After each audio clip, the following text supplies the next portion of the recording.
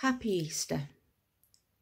Yesterday, Nicola spoke of Saturday as being an empty day, a day when Jesus lay dead in the tomb and all the hopes for the future were in tatters.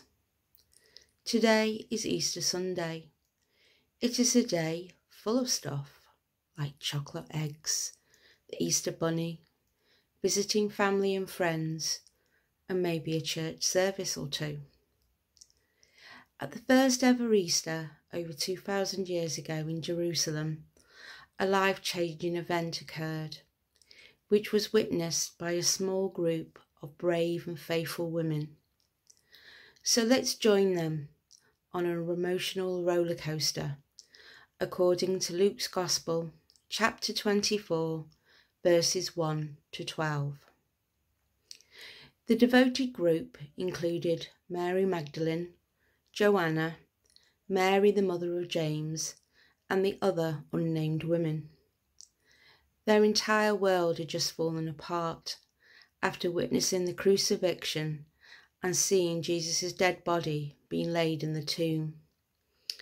Very early in the morning, the grief stricken group of women set out with a purpose to anoint the body of their beloved Jesus. Arriving at the tomb, they discover the stone rolled away, and on entering the tomb, it is empty. Imagine their utter confusion. Where has Jesus' body gone? Then, suddenly, two men in clothes that gleamed like lightning stood beside them. In their terrified state, they push their faces against the ground as the angels ask, Why do you look for the living among the dead? He is not here, he is risen. They reminded the women of Jesus' prediction. The Son of Man must be delivered over to the hands of sinners, be crucified, and on the third day be raised again. Then they remembered his words and realized Jesus was alive. He has been risen from the dead. They believe. As the Holy Witness bears witness of them, they're overjoyed.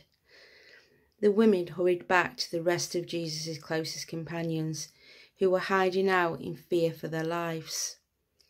Unfortunately, the grieving and guilt ridden apostles reject the women's good news because their words seemed like no nonsense to them. However, Peter appeared to be a little more, more open. Guilt ridden and mourning the death of his dearest friend, he ran to the tomb. Bending over, he saw the strips of linen lying by themselves, and he went away, wondering to himself, What has happened?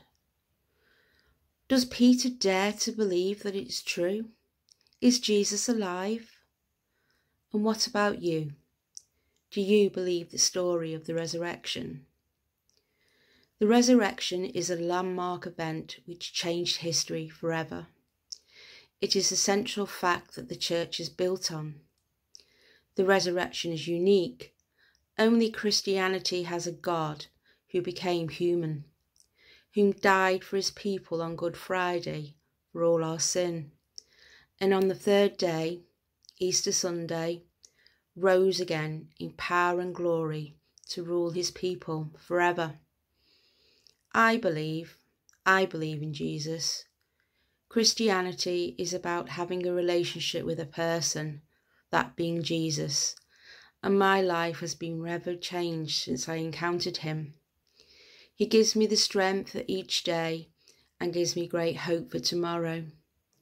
His love is unconditional, and He provides me with the peace beyond worldly understanding during the trials of my life. Today, thank Him for His sacrifice on the cross and choose to spend a little time each day getting to know Jesus better in prayer, by med- meditating on the Bible, by being still to feel His presence, or by talking to others about their faith.